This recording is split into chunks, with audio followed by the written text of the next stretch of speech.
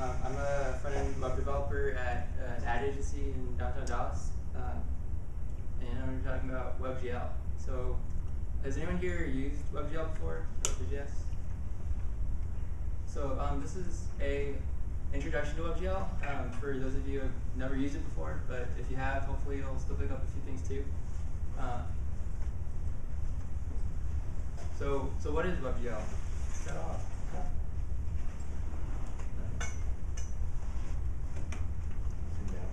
Yeah.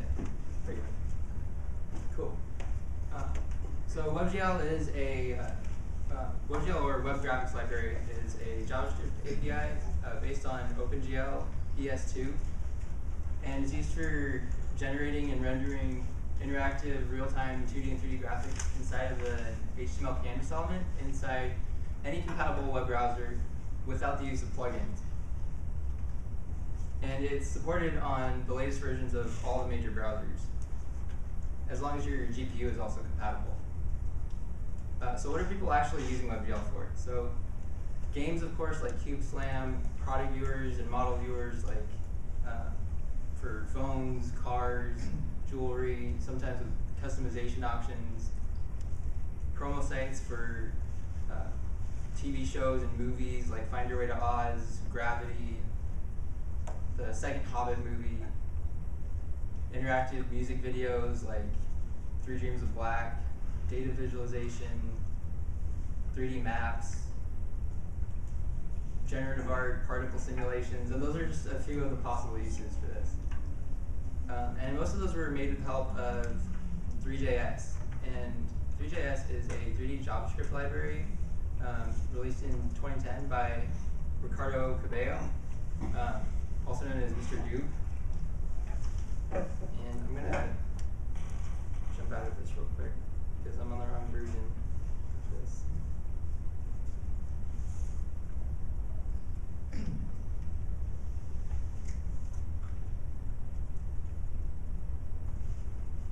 Okay. So some of the features in Three.js include uh, WebGL, um, render, uh, uh, canvas render, SVG render, um, scenes, cameras, geometry, 3D model loaders, lights, materials. And we're going to talk about a few of those in a minute. Um, so this is the 3JS website, 3js.org. And we just looked at a few of these um, featured projects here. Uh, and over on the left, over on the left side, there's um, links to the documentation and resources um, for where you can find Three.js on GitHub, Stack Overflow, Google+, the IRC chat channel. And the first two links at the top are for um, examples that are included with the Three.js GitHub repo, and even more examples by uh, Lee Stemkoski, a computer graphics professor. And between those two links, uh, there's over 300 examples. And um, your demos will usually be a combination of those features. Um, so we're going to go through all 300 of those right now. I'm just kidding. But there is a getting started page uh, that shows you how to set up a scene with a spinning cube. And this is like the most basic Three.js example. So let's look at the code for this. Uh, this is what the HTML looks like. You uh, just include the main Three.js file, and your JavaScript goes after that. And the JavaScript looks like this. So every Three.js project has at least these a scene, a camera, and a renderer. So you set the size of the renderer, and you add the canvas element to the HTML. And then you create a box geometry and a material, and add those to a mesh. And then you add the mesh to the scene. And by default, objects are added to the origin coordinate 0, 0, 0. So um, you have to move the camera out in the z-axis so that it's not inside of the cube. And then to render the scene, you create a render loop using request animation frame. And this will get the render to draw to the canvas 60 times per second. So an easier way to visualize how all these pieces fit together is with this node map here. So you can see at the bottom left, the geometry is made up of vertices and three-sided polygons or faces, um, triangles. And you add those, uh, the geometry and the material to a mesh. And the mesh is a scene graph object along with the camera, lights, and the scene itself. The scene being the root of the scene graph. And scene graph object or uh, base object 3D is yeah. object 3D is the, the base class for uh, scene graph objects. Cameras are object 3D, lights are object 3D, meshes are object 3D. Uh, and you can also create a group object which acts as a empty object 3D that you can uh, use as a container for other 3D, uh, 3D objects. Uh, and you have to add them to the scene for the, them to show up. And you can add them directly to the scene, or you can add them to other scene graph objects. And you can access the children with dot children and the parent with dot parent, and the children will receive all of the transforms of. So there's kind of an extreme example of this in the GitHub repo, um, but the, cube at the center here is the root, and each consecutive cube outside of that is a child of the one right before it. So when you rotate each of the cubes, it rotates all of the children along with it. And the transforms are the position, scale, and the rotation. Uh, and I'm just using tween.js for the transitions here. Uh, and you see the rotation is in radians. So if you want to rotate something by an exact value, um, you can look at a unit circle and the values with pi are in radians. Uh, but if you don't want to deal with radians, you can uh, use one of the math utilities to convert degrees to radians. And you can use the unit circle as a reference for other things like animating in a circle. So the x position would be the cosine of the angle, and the y position would be the sine of the angle.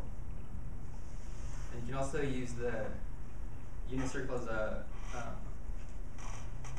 as a reference for like if you uh, divide the, the circumference of a of a pumpkin by its diameter, you get pumpkin pie. um, sorry, I'm, I'm going on a tangent here. So let's let's talk about cameras. The. So there's there's two types of, of cameras in 3JS. There's the perspective camera and the orthographic camera. And the parameters for the perspective camera are the field view, aspect ratio, and the near and far clipping planes. And the aspect ratio is the window width divided by the window height, and the field of view is the angle between the top and bottom planes of the camera's viewing frustum. So if you increase the field of view, you get a more extreme angle, like a wide angle lens, but you can see that the, the grid is kind of cut off now. So if for some reason your objects aren't showing up, you might need to increase the far clipping plane because anything outside of the clipping planes won't be rendered.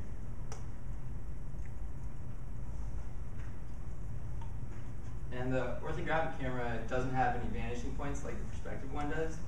And the parameters for it are just, they just define the, the limits of the viewing frustum. And most of the examples out there also have a window resize event um, that will update the camera's projection matrix so that when you resize the browser window, it doesn't like squish your canvas or stretch it out. So this demo here is just inside of an iframe. So if I resize the iframe, you can see that the camera's viewing frustum is resizing along with it.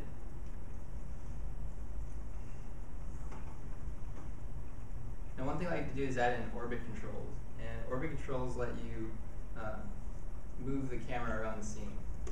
So you can use, if you have a, a three button mouse, you can left mouse to orbit, middle mouse to zoom, and right mouse to pan. And this also has keyboard and touch controls too. now adding, adding these in is super easy. So you just include the orbit controls file and create an orbit controls object, pass in the camera that you want it to affect, and then update the controls in the render loop. So that's three lines of code. Um, and you can also disable or set limits on certain properties of the orbit controls if you don't want to rotate below the ground plane or zoom inside of an object.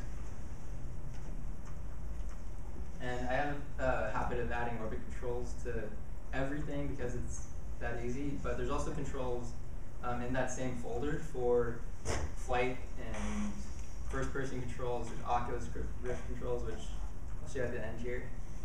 Uh, so now let's talk about geometry. There's a lot of different geometric primitives in 3JS. Uh, and you create them all the same way. Um, you should new three dot box geometry, new sphere geometry, cylinders, torus, and the parameters are for the width or the radius and the resolution or the number of subdivisions along different axes.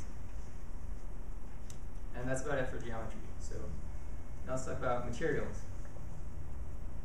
Now there's a few different types of materials in 3JS. Um, these are the solid, uh, basic material, Phong, Lambert, and normal materials.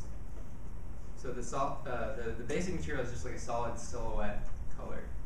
And the parameters uh, are, the parameter is just a JSON object. And we'll talk about those in a minute. And the Lambert material defines a non-shiny matte surface, and the Phong material uh, is for, it, it includes a specular highlight for shiny surfaces. And the normal material um, uses, it maps the normal vector to RGB colors, and the normal vector um, is uh, a vector that's perpendicular to the surface, and it's used for things like lighting calculations. So if we look at the material properties here, one of them is the shading, and the shading can be either smooth or flat. Um, and the flat shading uses the face normals, and smooth shading uses the vertex normals. And you can also change the color, um, increase the shininess for a sharper highlight, um, turn the wireframe on, uh, make it uh, transparent. And those are just a few of the properties. Um, you can also add texture maps to uh, your model, but first we need to talk about UVs. So each vertex has a um, XYZ coordinate in world space, but it, it can also have a UV coordinate in UV texture space, and that just tells the program how to place the image onto the model. It's kind of like a, a soup can label. So to load a texture in, you use the um, 3JS's load texture image utility, and then you can use that as a value for uh, the map, any of the map properties. And there's a few different types of maps here. This is the color map. The normal map um, lets you add more detail to a model without adding more geometry by baking the detail of a high polygon model into an RGB image that affects the shading normals of a low poly model. And normally you would create the high poly model in a program like ZBrush, um, where you're sculpting with like millions of polygons, and you would retopologize it in a program like Maya, then project all the detail into the normal map. And the specular map defines the shape of shiny areas on the surface. So in this case, the water is white and the rest is black. So only the water is shiny. And if I add all of the materials to, or all of the textures to the material, um, it looks kind of like this. It just gives a more realistic look. And your material definition might look something like this. So you'll notice that the, the colors here are a hex value, and passing in the hex value to the color properties will actually create a 3JS color object, and you can change those at runtime with any of the color object methods. You can set or get the hex, RGB, HSL, or a, a CSS style string. And you could also even store different materials and change the material at runtime. So you just do like mesh dot material equals another material that you created. So now let's talk about lights. There's a few different types of lights in 3JS. Uh, this is the directional light, and it has a position and a target, but those don't really matter because they're only used to set the direction. and the light acts as if it's infinitely far away and all the rays produced from it are parallel. Um, so it's kind of like a sun. And all the lights usually have a color for warm or cool lighting and an intensity. But I usually don't set the intensity any higher than about 1 because it tends to blow the light out. And the point light shines light from a specific position in all directions so it's kind of like the light bulb. And the spotlight um, shines light from a specific position in a specific direction, and it only affects objects um, within a cone defined by the angle and the distance or and the exponent or the fall off. So it's kind of like a car headlights or a, a flashlight. And the ambient light um, applies light to all objects in the scene globally.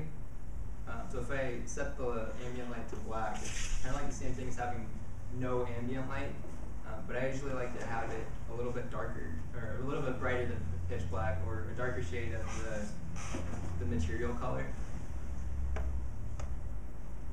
Now, one really common lighting technique is three-point lighting. Um, so you have a, a key light on the left that's your your main strongest light, and the rim light on the opposite. Sorry, the fill light on the opposite side, which fills in the shadows, and then the the fill, the the rim light on the back side that just highlights the contours. And one trick you can use is RGB lighting. So you can set each of your lights to a different color, and that will let you see where on the model the uh, the light is affecting the model, and then you can adjust the lights until you have them where you want them, and then dial the color back down. So that's lights. Um, does anyone here use Sublime Text? Okay, so there's this Sublime autocomplete file in the GitHub repo. So if you don't want to um, remember all the parameters we've been talking about, or um, keep looking back at the documentation, or even the 3JS source, um, you can use this to tab through uh, parameters. So you can just start typing mesh and tab, and then it'll give you all the options for that, and you can tab through each of the parameters. For better example is the, the sphere geometry. Uh, so if you don't remember like which order it is, like uh, is the the horizontal axis or the vertical axis for the resolution. And um, so you just you um, the the file that's in the GitHub repo is out of date. It's for an older version of 3JS. Um, but there's also a Python script in there uh, that you can run that will generate a new Sublime Completions file based on uh, the 3JS source. So it'll crawl through the all of the objects and all the parameters in the source and generate the Sublime Completions file for you. And then you just copy it to your Sublime Text 2 packages user folder. Um, it's in a different place on Windows and Mac. I think it might be your library folder on Mac and your app data folder on Windows.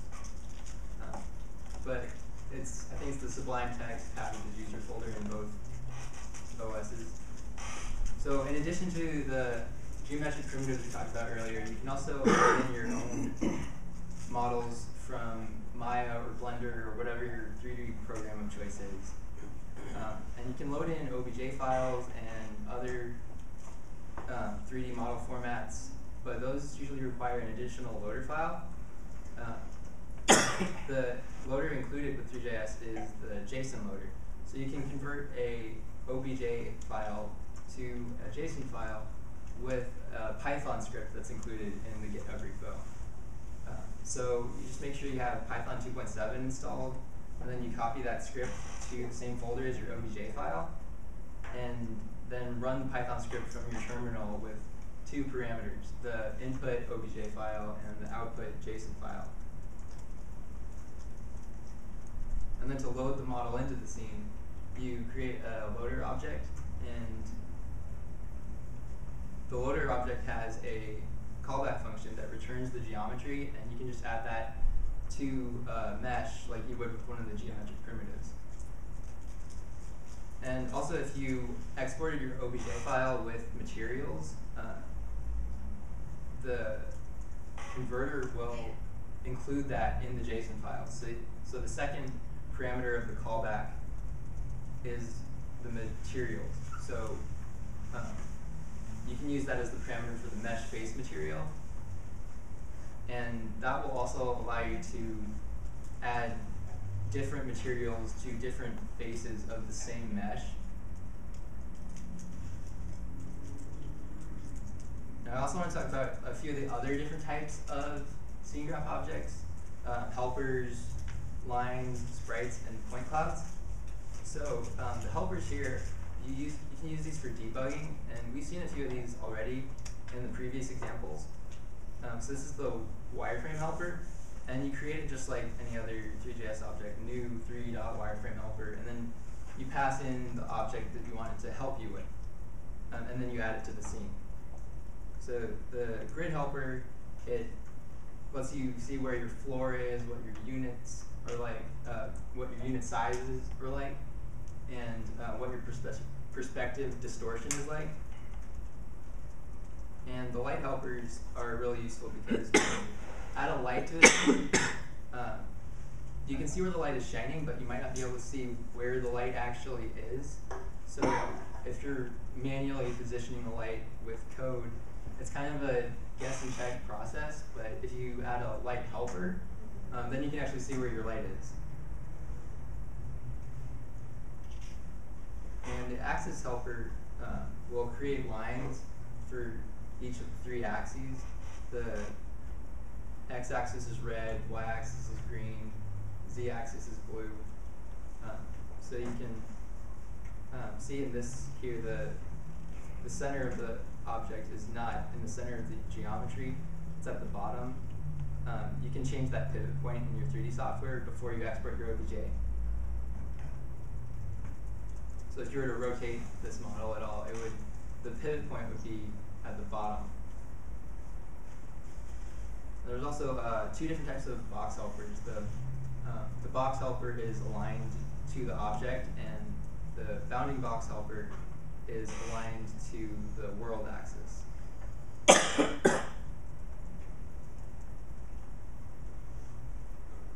and all of the helpers are actually using uh, the 3JS line object, you can create your own lines too. Um,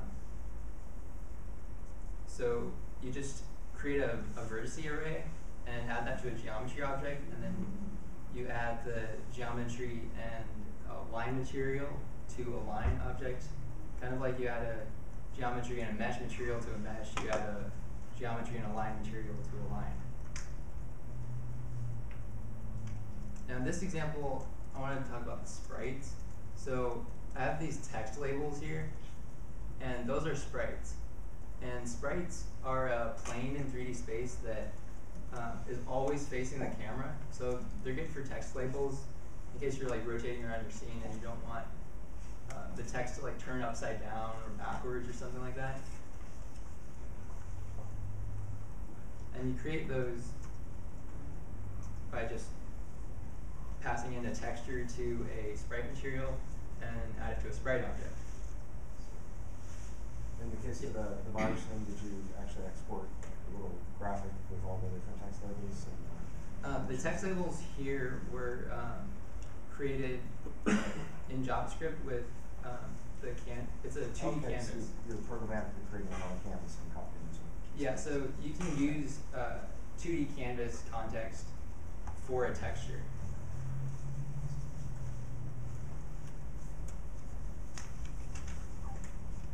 And so this is a point cloud. Uh, and point clouds are particles or vertices that are all part of a point cloud object. Uh, and it's kind of like the line object. So uh, only you're adding the vertices to, uh, you're creating the vertices in a loop, and then adding those to the geometry, and then add the geometry to a point cloud with a point cloud material. So in this case, you're creating 20,000 point, uh, points or vertices, um, all at a random position between negative 1,000 and, th- and 1,000. How are you specifying that you're kind of drawing those little squares that have different scale Z? Uh, I think by default they're squares, uh, but you can um, you can pass in a texture map, and each of the points will use that same texture map. Um, I think you might also be able to have different texture maps for different points within the same point cloud. Um, and the points will um, act like sprites, so they're always facing the camera.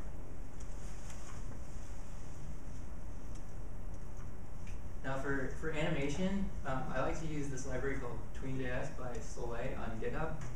And it's kind of like uh, Flash motion tweens in JavaScript.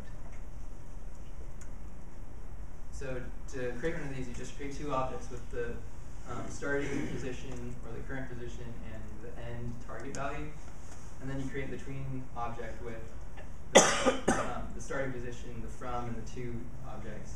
And then you just give it the speed or the duration and the easing function, like bounce in, uh, bounce out, easing, uh, ease in, ease out. And then you uh, assign the tween value to the mesh position or the mesh rotation, whichever property you want want to tween. And then you add tween update to the render loop. And another technique that I like to use is environment mapping. And environment mapping takes a uh, panorama and maps it to the inside of a cube.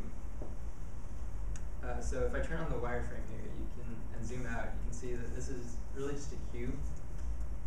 And this could also be a spherical panorama mapped onto the inside of a sphere. And then you can use it for things like the reflection or refraction in your material properties. And Paul uh, Paul Lewis actually has a really good article on his website on how you can set up your own, uh, how you can create your own cube maps. He's just using a iOS app called PhotoSynth, um, where you just like move your phone around and it stitches the pictures together for you, and that creates a, a spherical panorama. And then he has a, a Blender file that you can use to convert that to a cube map, and then you just drop those into the folder and give them the same names, and it uh, it just shows up. So one of the last things I want to talk about here is interaction. So in HTML, we kind of take um, mouse events, uh, hover and click events for granted because the browser handles those for us. Um, but what if we want to do this in 3D? So 3D is all picking, and we have to set that up ourselves. But 3JS makes it fairly easy. So there's this example in the 3JS GitHub repo called interactive cubes. And when you mouse over a cube, it just changes one of the material properties. So let's look at how this works. So the first step is that you need to normalize the device coordinates, meaning the x and y coordinates are between negative 1 and 1.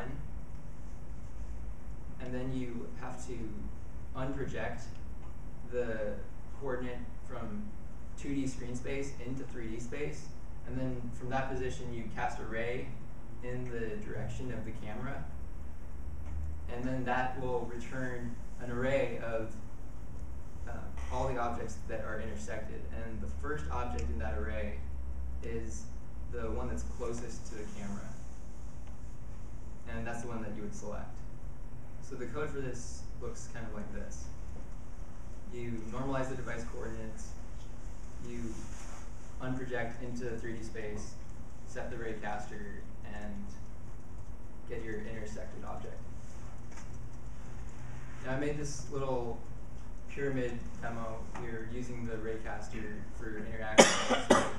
when you click on the speakers, it'll play a little sound from an audio tag.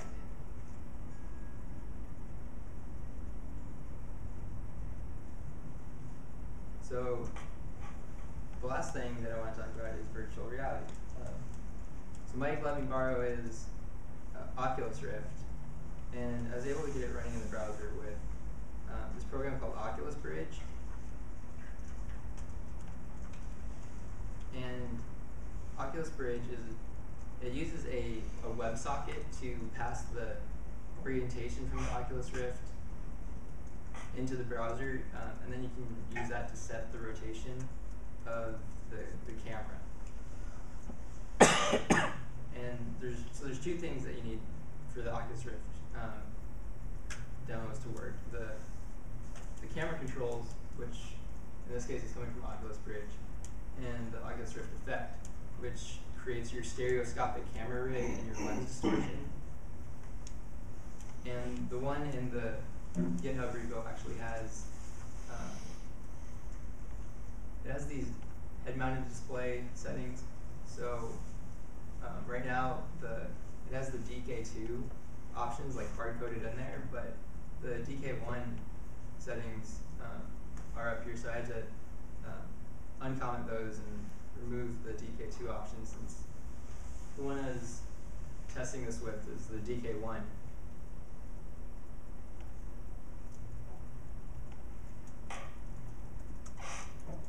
And so the the simplest thing I could think of was to use this with a cube map.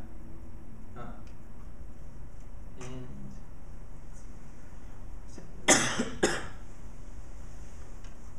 gonna see if I can get this running here.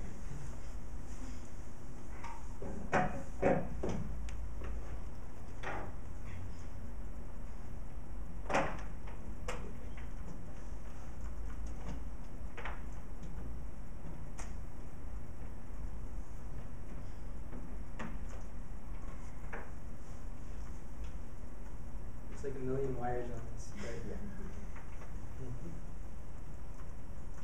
Trying to find the right one.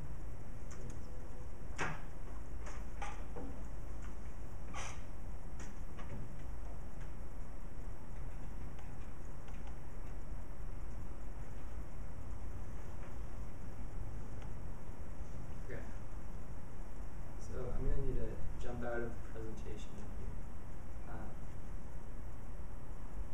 so Oculus Bridge to work, there's two things that you need to do. The um, you run the Oculus Bridge program, and then include the Oculus Bridge JavaScript file in your HTML, um, which will receive the the rotation from the WebSocket.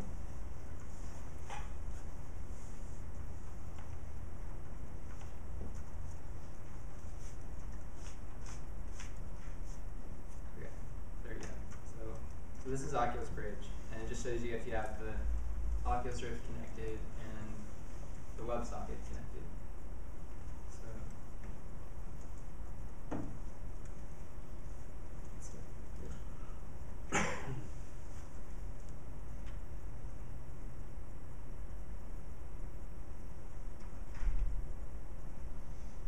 yeah. If anyone wants to try this, um, Is that your desk big slingshot? yeah. So, is there, is there much of a depth effect? um, Because it's a cube map? it's it feels like it's pretty close up, but that might just be because of the environment. And the, the demo I saw the Oculus Rift bridge in originally was um, the first example that's on the 3JS um, featured project right now. Um, it's shapespark.com, I think. Uh, and they're using it for architectural or interior interior visualization. Uh, and they actually like layer the Oculus Rift controls on top of first person controls. It's got accelerometer but not the video. Um, you need to change the display now to.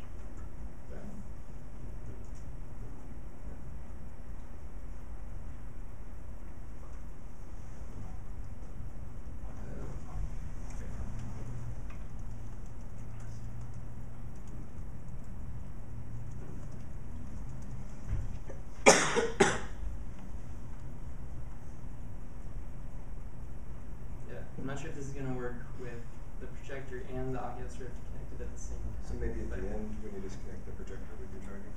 Yeah. Um, Okay. so so that's um, that's about it for my presentation. Um, there's also, I guess, a few more things for virtual reality. Um, VR.chromeexperiments.com. Um, it uses um, a few other different types of um, effects to get get virtual reality, reality in the browser. Um, VR controls, the VR effect, uh, or device orientation controls and stereo effect. Um, there's a few few demo demos on this website uh, using Google Cardboard. And then there's also the WebVR API, uh, which is still really new, really experimental. You have to download experimental builds of Firefox and Chrome um, if you want to mess with that. Do, do you think that'll end up making the, the spec? Uh, I think that depends on how much people use it. Um, yeah. I have a question. What does v- WebVR allow you to do? From what I've read, I think it uh, it lets you sort of connect your Oculus Rift straight into the browser without running something like Oculus Bridge. Yeah. Um, so it's like an API that interfaces directly with your Oculus Rift instead of going through that that middle program. That's what I've read. Don't quote me on that. so, so yeah, um, my, my slides are on my website at davidscottlyons.com slash 3js. Uh, right now it's just a shorter version of this presentation, um, but uh, if I get my slides for this online later, um, I'll post a link online. Uh, yeah. So earlier picking by casting array. That makes me wonder, does 3JS present any kind of like ray tracing renderer by chance? Yeah, it does. Um, there's, I think if, if you go to the 3JS website, um, on the left side there's an editor. Um, so it, it kind of gives you like a, a GUI for um, for 3JS. So you can, if you add a light, it'll add a, a light and the helper for you. Uh, so it's kind of like, it's almost like M- Maya or 3ds Max in the browser. Uh, and there's, um, I think it's a drop down list on the right hand side of the editor. Um, it has lets you change the renderer, and one of them is a ray tracing renderer, so you can do ray trace renders in the browser. So how well does that perform in your experience? Um, from what I've seen, it's not that bad. Uh, like, there's also uh, a program or a website called Clara.io, uh, and that's probably the the most impressive GUI in the browser that I've seen that's running on WebGL, and it actually has a V-Ray renderer in there in the browser, so that, that's pretty crazy. Yeah. What about like a physics? Like, are there any physics engines that you can tie into? Yeah, um, I think there's. I tried out one called uh, PhysiJS. It's like physics with the J instead of the C. Uh, by Chandler Prall on GitHub. Uh, and there might be a few other ones like I think Box2D or Ammo.js. Um, I haven't tried those though, but PhysiJS um, works pretty well.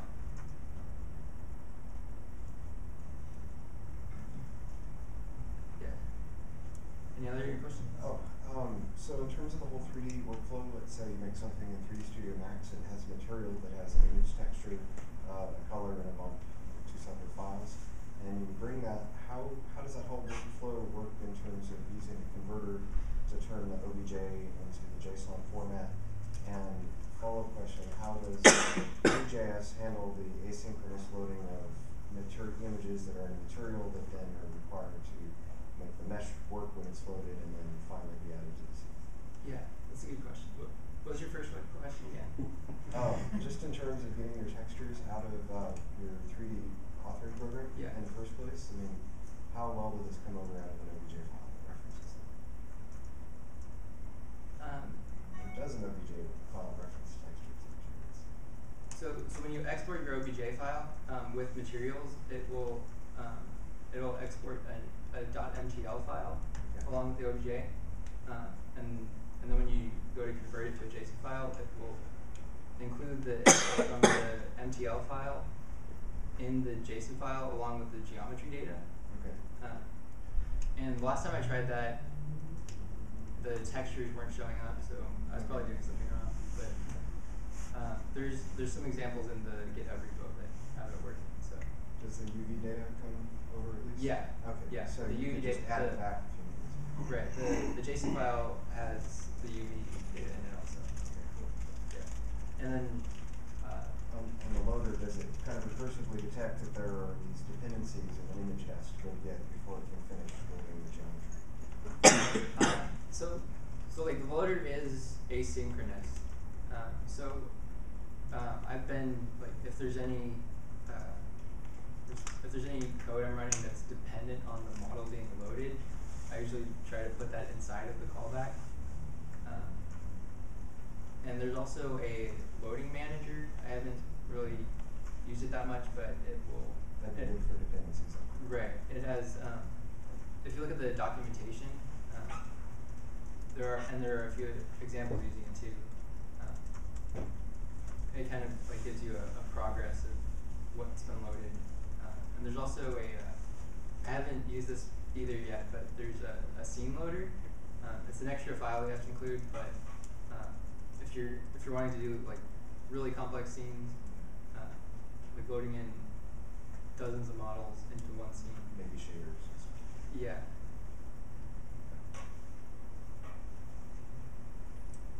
Any other questions? Does it have blob meshes? Blob meshes? Yeah, like blob metaballs, that kind of stuff. Uh, I've seen that before. I don't know how to do them, but yeah. You could export it from your 3D program however you modeled it, right? Uh, well, so so blob meshes. More of like a particle effect kind of thing. Yeah, I guess that would be uh, something that you would just export. It would be like a an interactive, like dynamic geometry. It'd be like a fluid type thing, like a water fountain or something like that. Yeah, yeah. A lot of that would probably be like um, some like heavy shader stuff. Um, there's uh, shaders are a thing I've been wanting to get into, but um, haven't done anything with yet. Uh, but you can create a, a shader material for um, material surfaces, um, or or you can uh, like just do like a, a shader on a sort of like a, a flat surface. Uh, the the shaders are GLSL, and you create them inside of like a an X fragment shader, and X vertex shader, like HTML tag, uh, and then you can kind of pass those into 3JS. Uh, I don't remember exactly how, but yeah. Is there an orbit control underground? Yes, there is.